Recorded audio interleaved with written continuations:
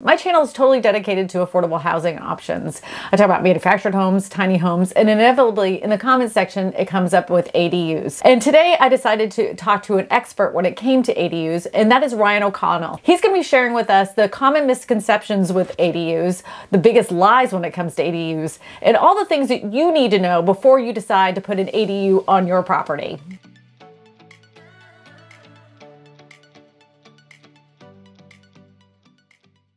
I found Ryan through TikTok and then I found out he works for a company called Inspired ADUs. And he has a wealth of information when it comes to these ADUs and how you can use them for your property, whether you're converting a garage into an ADU or you're using a separate unit altogether. So I know Ryan knows all about all the common challenges when it comes to ADUs and the most common questions that people have if they're deciding to put one in. What would you say is the most common question that comes with uh, putting an ADU on a piece of property? I, th- I think you know this how much is this going to cost? That's why there's so much interest in prefab because it's like, can I just go on Amazon and buy this, right? And the truth is, site built houses that are like suitable for people to live in are very rarely going to be that buttoned up. And so people hear all kinds of different things. Like somebody in my comments the other day said they're going to build for 30 bucks a square foot. That's out there now, right? That's information on the internet.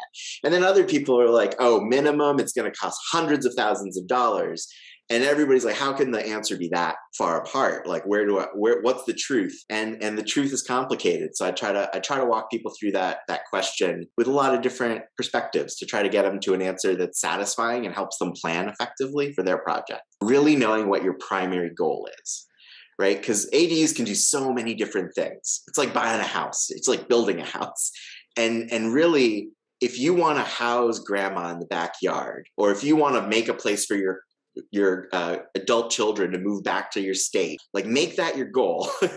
And and then all the variables that come up you were optimizing toward mission accomplished on that goal. And and once they internalize it and they do that then all of the other challenges that come up it's like man we can get through this together. Talk to people like they they often want to jump to like a specific question that's come up like uh, how how big can I build?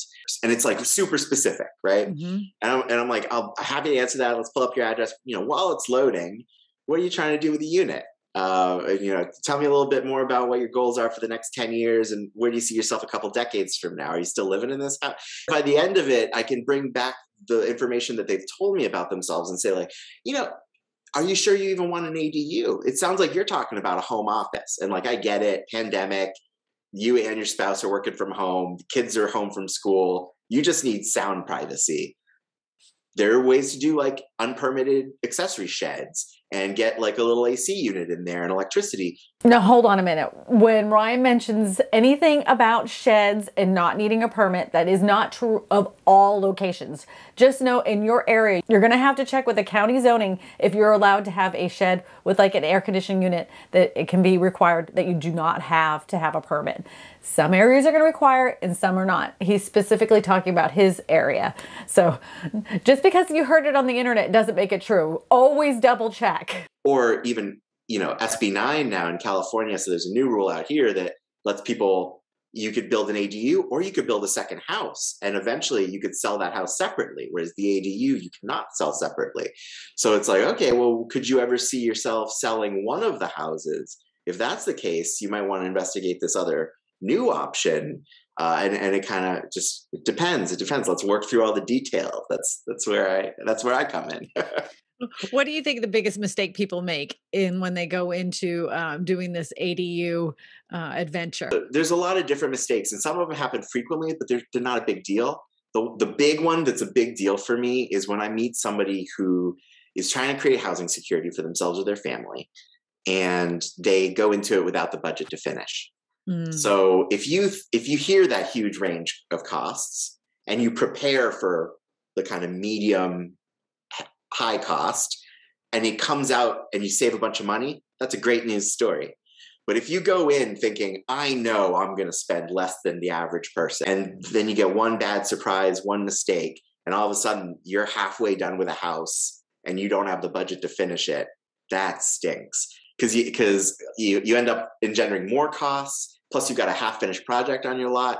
Um, luckily, most of the projects that peter out happen after they pay for the permit and haven't started construction but but still breaks my heart. One of the biggest issues I've always faced when it comes to alternative or affordable housing options is the sewage itself. It will require certain kinds of permits for it to be accepted by the county. With these being attached to land, I wanted to ask Ryan what it is we needed to know for sewage when it came to ADUs because it is super important. Sanitation is a big one, right? So like if you're on a rural lot, one of the first things I'm going to talk to you about is septic capacity. Mm-hmm if you're on a if you're on a city and you're like oh no i'm on city sewer i'm like still not over. Let's talk about it. Let's make sure you have capacity. Because a lot of the time people are, are talking about a, a, lot of new room capacity and it can it can really surprise them. Whenever you're working with a contractor or a ADU specialist, make sure you ask them the right kinds of questions. Ryan explains what the right kind of questions are, but just know that you're interviewing them as much as they're interviewing you. You want to make sure that the project that you are having done is something that they specialize in. And if they can't answer your questions, maybe you should consider hiring a different ADU specialist. It pays it pays to to work with people who've built ADUs before. If you're in a city that's like really friendly friendly to ADUs, the planning department could be a great resource.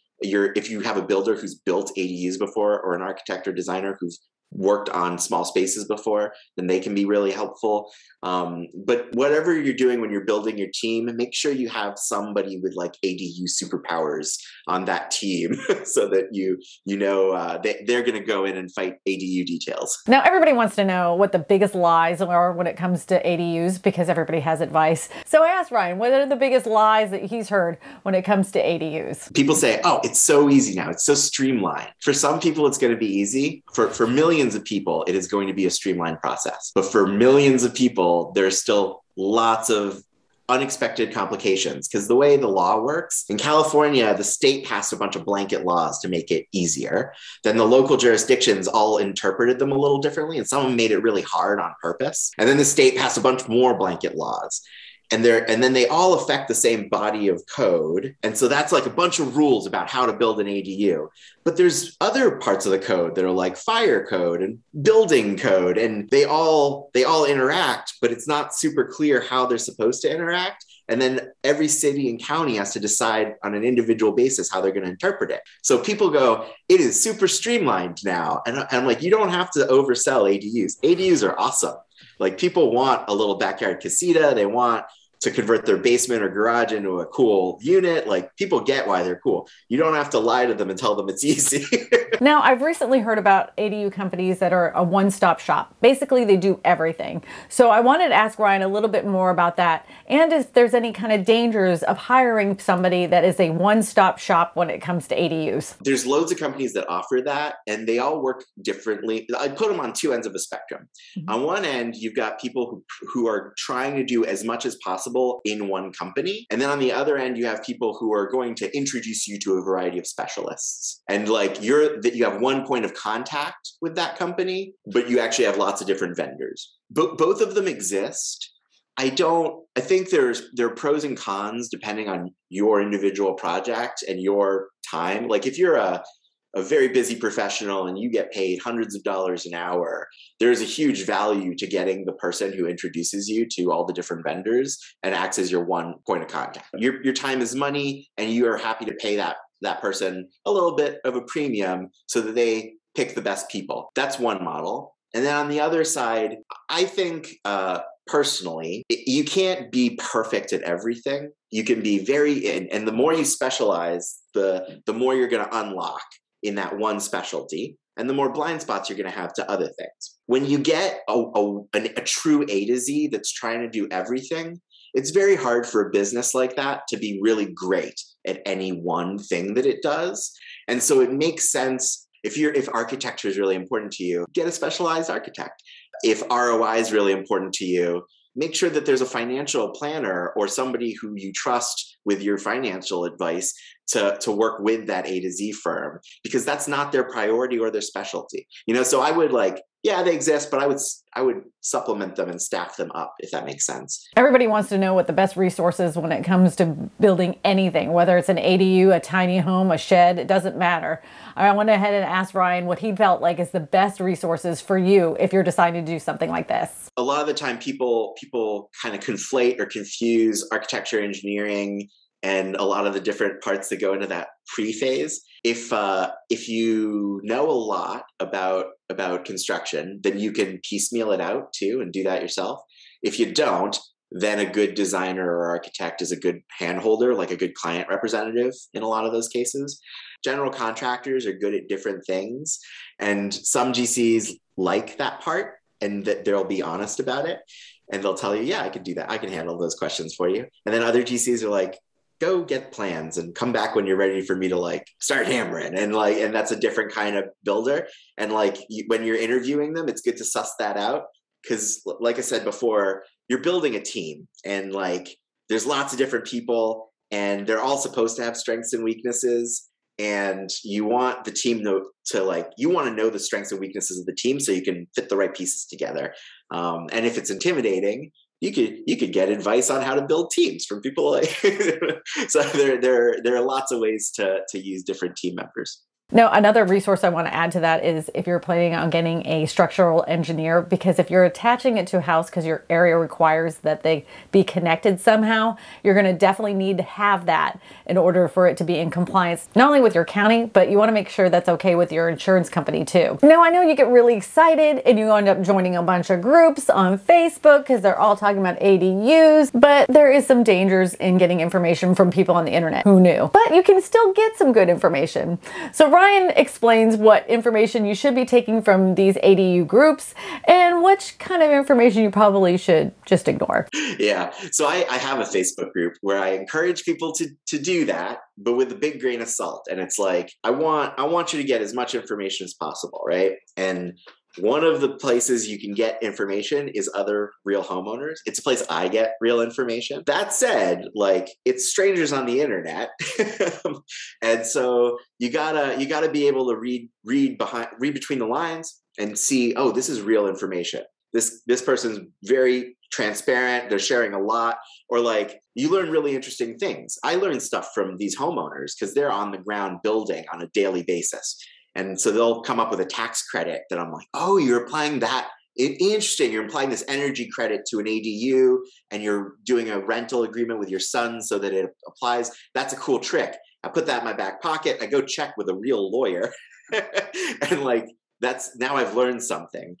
Sometimes that same group will come up with something like, "Oh, you don't need to you don't need to do fire sprinklers if your main house doesn't have fire sprinklers. It says it in the law." And I know because I've dove into that specific subject with that homeowner like yeah but but the homeowner has another problem. They've built so far away from the road and the and the fire hydrant that the fire department is saying yeah in this exception you do need fire sprinklers and so you really got to take legal advice with a grain of salt right? Like strangers on the internet are not lawyers. Very important question i asked ryan is if this is the first time you've ever done an ADU, what would be the very first step when it comes to putting one in? You, you want to know what the laws are in your on your property. So it's like, what city are you in, or are you on a county property? And like, who is the government person who's supposed to know the rules for you? They're not always going to know the rules. Sometimes you'll teach them some stuff, but like, figure that person out and like write to them uh, and and just say back of the napkin, like, here's my lot. I want to do a little thing over here for grandma give them a personal story, like you know, a little heartstring, a little human stuff. What am I? Can I do an ADU, or is there something else I should look into? And they're going to start the process for you. They're going to give you the the shortcuts, and then you go research. Then spend time googling and watching videos on YouTube, and that's the starting point. Figure out what the law is where you live because everybody's got a different law. Whenever you're talking to any company about putting in your ADU, you're going to want to know the important questions to ask them first. So I asked Ryan, what questions should we be asking if we're deciding to put an ADU on our property? Because there's a lot of scams out there on the internet when it comes to ADUs. It isn't just ADUs, it's tiny homes and manufactured homes as well. So you want to be armed with the right information ahead of time so you know you can spot a scam instantly. The really specific answers, like based on your goals, if you're like, if you know I, I want the, the little casita for for mom I, I need a kitchen in there because she loves to entertain on her own. We wanted to like if the more you know about that, the more you can find the right ADU company for you because you can say that right off the bat and you'd be like, how many people like me do you help? Are most of your customers building a unit for their family member? Or most of your customers real estate developers who are building rental units? Or mm-hmm. do you specialize outside of California? Maybe they specialize in Airbnbs and like conversions into short term rentals. And everybody's got like a niche, right? And if they can't describe their their typical customer to you, that's a problem. That's a red flag. um, if you're a GC, then you're, you're, a licensed contractor. You've got an insurance policy on file with the state and and people can look up your license, make sure it's current, make sure your insurance policy is big enough to be ha- having multiple jobs at once and big jobs, not just small rehab. Um, if you're an architect, you're licensed. If you're uh, a financial advisor or lender, you're licensed. And a realtor is licensed, right? And so those regulations, um, they exist to protect you. So use them. If it's a company and you're not sure, I think one of the one of the things that gives me a lot of comfort in the early phases because a lot of the time people ask me to look people up and it's kind of online can't just drive out and see the thing. And i'll be like right, let's find pictures of projects underway with like them. And those pictures if the pictures kind of look generic or stock i'll do a reverse image search on like google reverse image search and just see is this picture all over the internet? And lo and behold a lot of the time it is uh, if it's all 3D model renderings, you're like, you know, there are stages of a business where all you have is 3D renderings. It's like you haven't built yet. And a business that only features 3D renderings should be really honest about that and say, like, this is a rendering. Uh, and if you ask them how many they built and they say, oh, we built tons, you go, well, can I see some pictures? They're like, no, we only have the 3D renderings.